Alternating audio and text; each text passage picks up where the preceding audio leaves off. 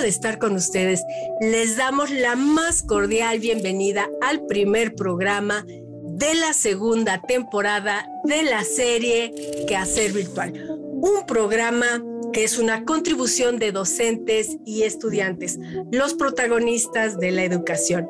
Este programa es un especial porque es Feliz Año Nuevo, Educación y Emociones. Y comenzamos.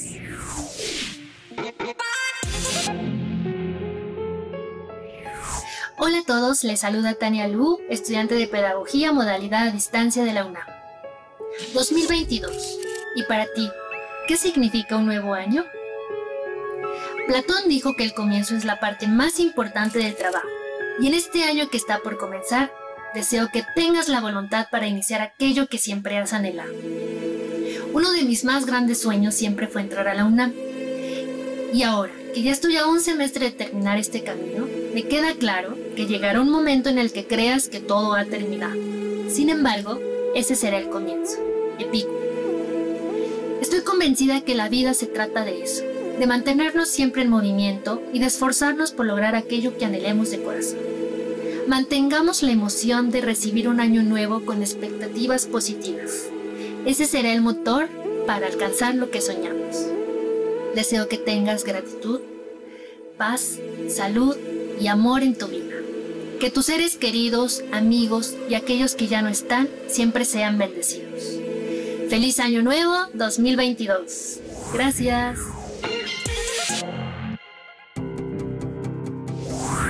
Con el fin de conmemorar el papel que tiene la formación en la Constitución de la Paz y el Desarrollo, la Asamblea General de Naciones Unidas en el año 2018 proclamó el 24 de enero como el Día Internacional de la Educación, en cuya celebración se retoman los preceptos de calidad, de inclusión y de una formación equitativa que contribuyan al cierre de las brechas persistentes entre los ciudadanos, tales como la pobreza, el rezago educativo y la distinción de género. Es importante mencionar que este año la celebración retoma un tema de suma relevancia a nivel mundial y es recuperar y revitalizar la educación para la generación COVID-19. De esta manera, se vuelve esencial prestar atención en el reforzamiento de los sistemas educativos por medio de una colaboración internacional, nos dice la UNESCO, con miras a colocar a la enseñanza y el aprendizaje a lo largo de toda la vida en el centro de la recuperación. La pandemia ha generado la interrupción de las labores en los centros educativos a una escala y gravedad sin precedentes, como bien sabemos. El cierre de las instituciones alrededor del mundo ha impactado en el desarrollo de 1.600 millones de alumnos en 190 países, por lo que es importante comenzar a trabajar en la recuperación y transformación de la educación para que avance hacia la conformación de una sociedad más sustentable. A pesar de que la educación es la vía para que las niñas, niños y jóvenes puedan salir de la pobreza y moldear su futuro, en la actualidad 258 millones de niños y jóvenes siguen sin estar escolarizados. 617 millones de niños y adolescentes no pueden leer ni tienen los conocimientos básicos de matemáticas. Menos del 40% de las niñas del África subsahariana completan los estudios de secundaria de ciclo inferior y unos 4 millones de niños y jóvenes refugiados no pueden asistir a la escuela.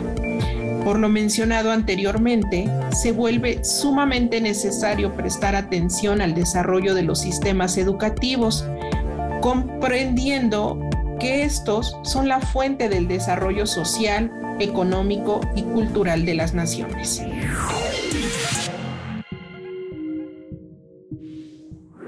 Estoy muy contenta de recibir a nuestra invitada especial. Tenemos a Magda Sánchez, que nos va a hablar en este 2022, fíjese nada más, de educación y emociones. ¿Qué vamos a hacer entre la educación y emociones? Hemos tenido un tiempo, Magda, turbulento, de incertidumbres. El organismo humano no está diseñado para vivir con estos niveles de estrés y ansiedad tan altos.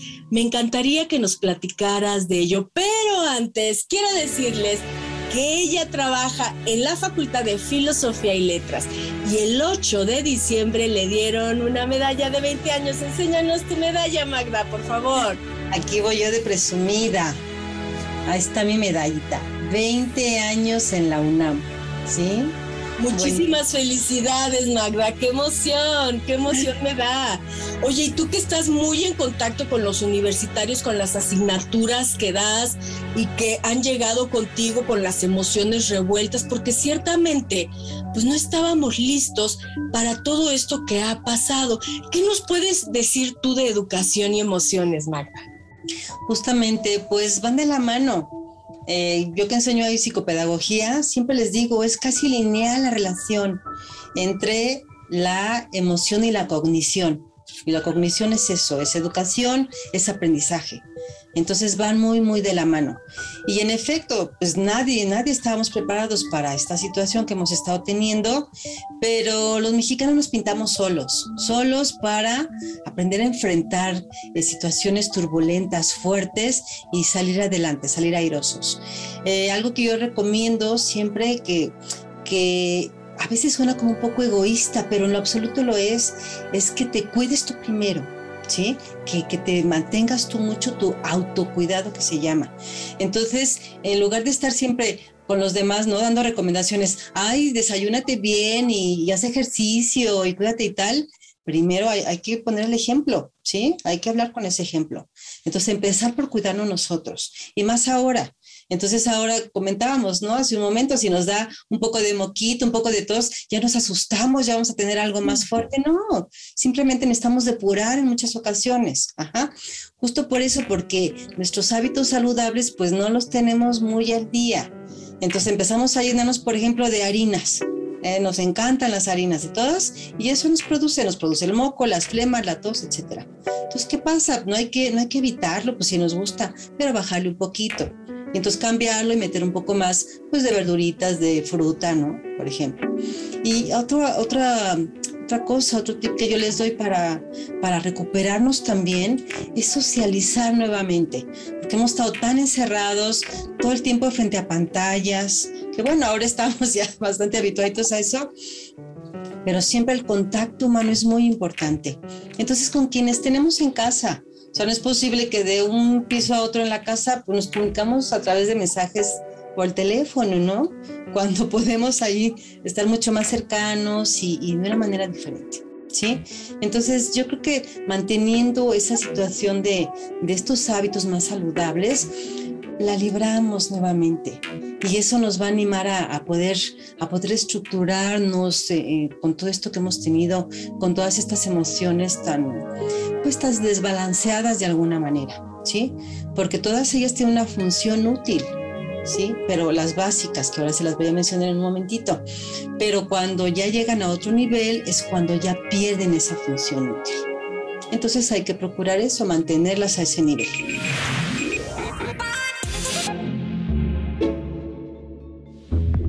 Bueno, cuando uno prepara una comida para la familia, pues se prepara con mandil, un recetario para que todas las cosas vayan fluyendo y saliendo bien. Igual con el quehacer educativo. Quiero decirles que así como uno se prepara para, para cocinar por amor a la familia, los maestros en esta ocasión se han preparado para seguir educando con la nueva manera de enseñar utilizando las herramientas virtuales de Internet y ayudando a los padres de familia para que también entiendan la nueva forma de estudiar. Yo estoy muy contenta como abuela, como maestra jubilada, de poder seguir a mis compañeras en activo haciendo su trabajo educativo. Y me da muchísimo gusto y de verdad quisiera yo participar un poco más en esta reforma educativa, en esta nueva manera de enseñar. Pero bueno, todo tiene su edad, ¿verdad? Y vamos a, a invitarlos a que sigan ustedes que hacer virtual, haciendo más fácil la tarea de los maestros apoyando a, los maestros para que ellos a su vez apoyen a los padres de familia a entender esta nueva manera de educar y esto será en beneficio de los niños. Un aplauso, enorme aplauso, un abrazo de felicitación a Quehacer Virtual, que están magníficos en su labor aprendiendo y experimentando y apoyando a los maestros en activo. De verdad, felicidades. Mi nombre es Ricardo Adán Jiménez Waldo y soy docente de secundaria. Uno de los tips que yo les puedo compartir para el uso eh, de las tecnologías es la herramienta de EducaPlay. EducaPlay es una página que nos permite gamificar nuestras diferentes clases debido a que eh, tiene sopa de letras, crucigramas, tenemos videos, lecturas, mapas que nos permiten a nosotros como docentes poder llegar a nuestros alumnos. Esta es una herramienta que nos permite a su vez poder evaluar el conocimiento de los alumnos de una manera más divertida, más práctica y con ello poder llamar su atención.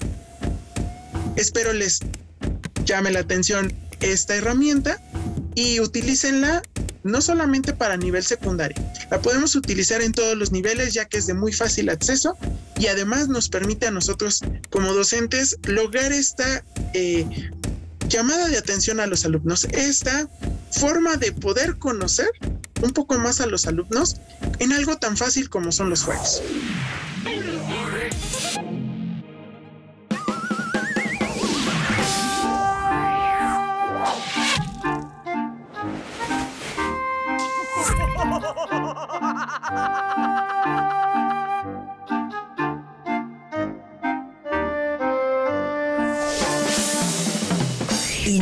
Vayan de pinta. En un momento regresamos. Vamos a una pausa. Recuerden enviar sus contribuciones a nuestras redes sociales. Me encuentran en Instagram, Twitter y Facebook como Hatsuko Nakamura.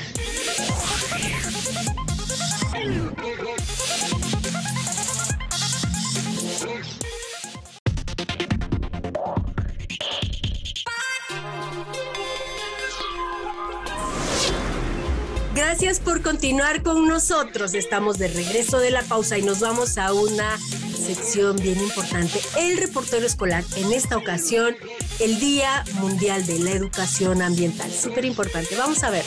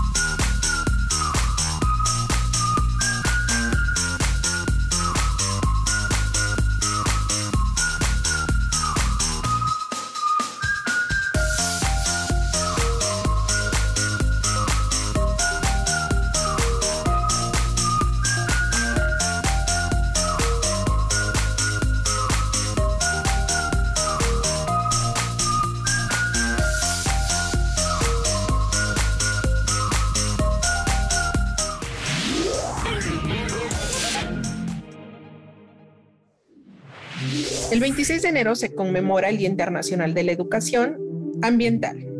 La educación ambiental ha tomado especial relevancia en los últimos años, mismos que se han visto afectados por el avance de la contaminación del aire, el agua, el suelo y el cambio climático, dejándonos ver que los recursos no son inagotables, reconociendo con ello el dedicado equilibrio que se presenta entre el entorno y el hombre.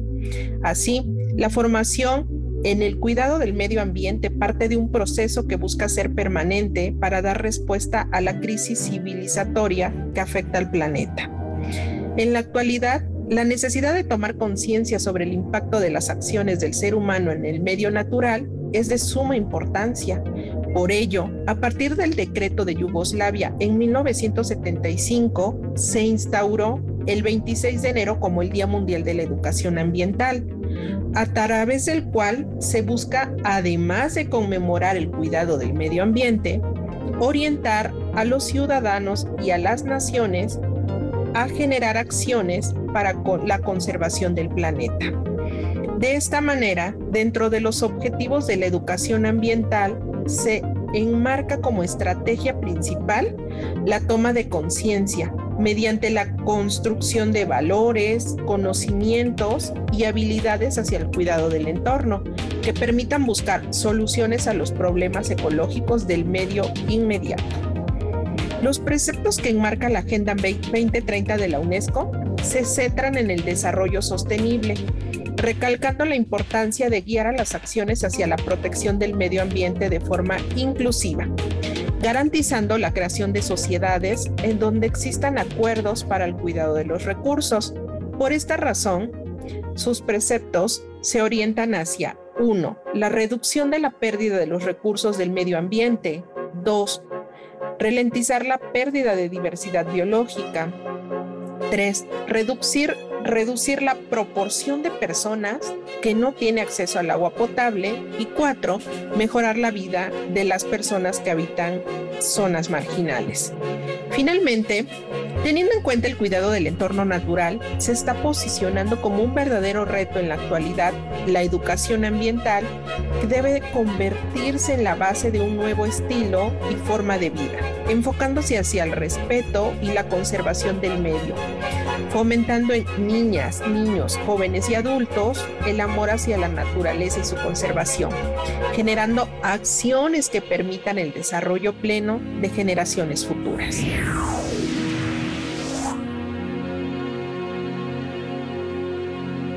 Y estamos de regreso en el quehacer virtual para la segunda parte de nuestra invitada especial. Magda, en este regreso a clases, estamos en enero, hace frío, nos enfermamos, mencionaste que nos da el moquito y, ay, el susto, el miedo, ¿qué vamos a hacer con esta cuestión que queremos socializar por un lado y por otro lado está el miedo de, ay, no, no, porque no quiero un contagio? Dinos algo para los jóvenes, para los maestros, tres cuestiones de las emociones. Vámonos, Magda. Muy bien, les mencioné que les iba a decir las que las básicas, las que no son útiles, ¿sí? Tenemos cuatro emociones básicas y todas las demás son distintos niveles de ellas. La primera es la tristeza. La tristeza es, es útil porque la tristeza sana heridas y traemos heridas acumuladas que requerimos sanar. Entonces, si todavía nos sentimos un poco tristes o algo tristes, no pasa nada, es útil estar con tristeza. Si llega a otro nivel, ya depresión, por ejemplo, pierde la utilidad y hay que aceptar y solicitar apoyo. Es ya más normal ahora que mucho más que antes. El miedo, el miedo también, el miedo es protector. Ajá. Entonces, si siento algo de miedo por el contacto de nuevo, por el reencuentro, está perfecto, nos está protegiendo, pero que solo sea miedo, que no llegue a pánico, que no sienta yo ahí que ya por estar en lugar del metro y medio, metro 30 centímetros, ya me estoy igual contagiando. No, no, no, o sea, a nivel de miedo es natural y es útil a ese nivel también. Enojo igual, hay situaciones que, bueno, pues que hemos estado aislados y que sí nos queremos reencontrar y abrazar, pero a la vez no queremos, estamos así, nos enfada, nos enoja. El enojo nos sirve para, para demostrar que, que sentimos como que algo no es justo, como que es algo injusto, ¿sí? Pero solo enojo. Evitamos llegar a, a furia, a enervarnos tanto, porque entonces pierde esa autoridad. Estas tres emociones, que en muchas ocasiones las consideramos eh, desfavorables o negativas, y que no es así, protegen a nuestra alegría, protegen a esa emoción que consideramos la favorable, la positiva, la consideramos así. Entonces es natural tener estas emociones. Lo que tenemos que mantener con esta parte del autocuidado y de los hábitos es mantenerlas en ese nivel que nos favorecen. ¿Sí?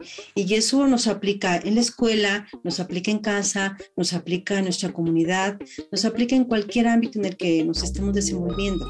Entonces, si lo practicamos en casa, va a ser más fácil poder practicarlo después en la escuela, en nuestros ámbitos de trabajo, en nuestros ámbitos comunitarios. Entonces, cada vez lo tomamos más natural Un poco de tristeza, bienvenida, porque nos ayuda a ir sanando esas heridas. Un poco de miedo, o algo de miedo, perfecto, porque nos protege. Todavía necesitamos protegernos. Algo de no, pues si consideramos que, que algo es injusto, como toda esta situación que nos ha pasado, también nos favorece a esos niveles. Y esto nos va a cuidar la alegría y nos vamos a mantener así con esa que nos caracteriza a los mexicanos, esa alegría, ese optimismo, esos eh, fiesteros que somos, ¿no? Muy sociables mantenernos así. Así es, Magda. Muchas gracias. Y además, qué importante guardar el equilibrio entre todas nuestras emociones, porque si dejamos de tener una u otra, nos desbalanceamos y no tenemos esa funcionalidad como ser humano, ¿cierto? Exactamente. Los mexicanos somos muy resilientes, que es decir, que sacamos lo mejor de cualquier situación desafortunada, de, alguna desgracia. Entonces eso nos ayuda a reestructurarnos, a reinventarnos con lo que tenemos a la mano y adelante, a seguir así. Sí, muchas gracias Magda. Un mensaje final dirigido a estudiantes, docentes, padres de familia para este 2022, por favor. Feliz año 2022, abracémonos, abracemos este año, abracemos estas nuevas oportunidades que tenemos y a disfrutar muchísimo y a disfrutar de tener contacto nuevamente entre nosotros. Gracias Katsuko por el espacio. Muchísimas gracias Magda. Hasta la próxima. Hasta la próxima. Chao.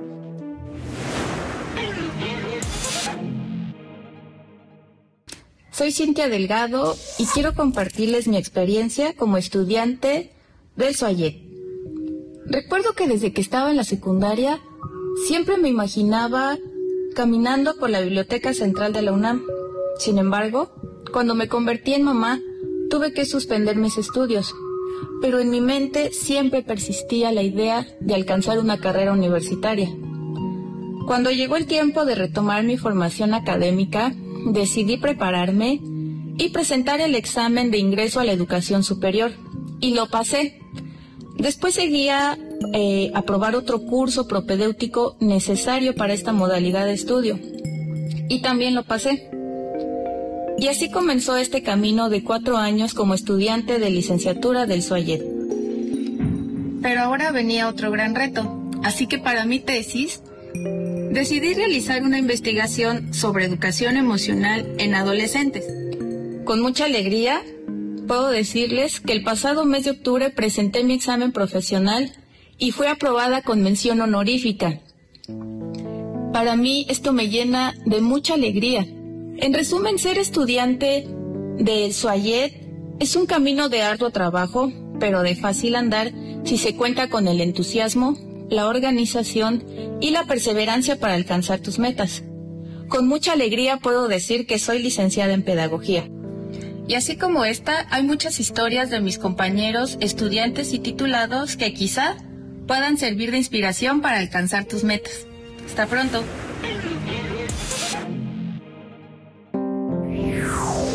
Pues mira, la pandemia tiene un contexto muy particular.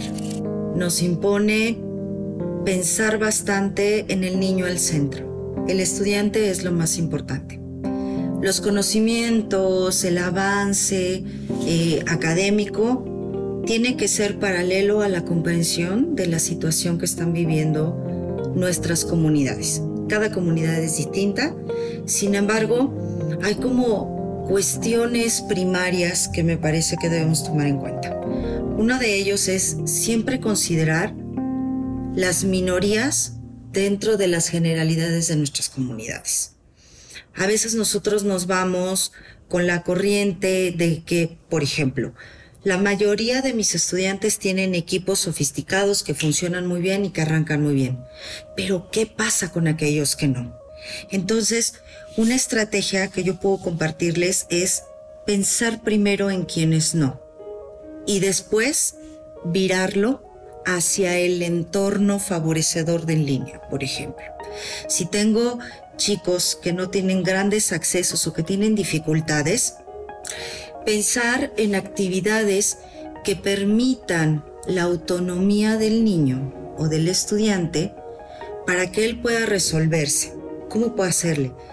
Rúbricas, mirar que las instrucciones que estoy dando tienen que ser más detalladas, pensando en aquel que no está mirando igual, que no está escuchando igual. Eh, las rúbricas siempre deben ir acompañadas de una meta o un propósito muy claro. Ahí esa meta en estos tiempos creo que tiene que ser chiquita. Saber dividir estos grandes compromisos que tenemos académicamente en pequeñas cápsulas que nos permitan ir verificando si vamos bien o no. ¿Cuál es la diferencia cuando estábamos en presencial? Que a lo mejor nuestro, nuestra meta, nuestro propósito era un poquito más robusto, porque había muchas cosas que se podían resolver en el aula. Pero en línea tienes que ser muy preciso, irte cortito.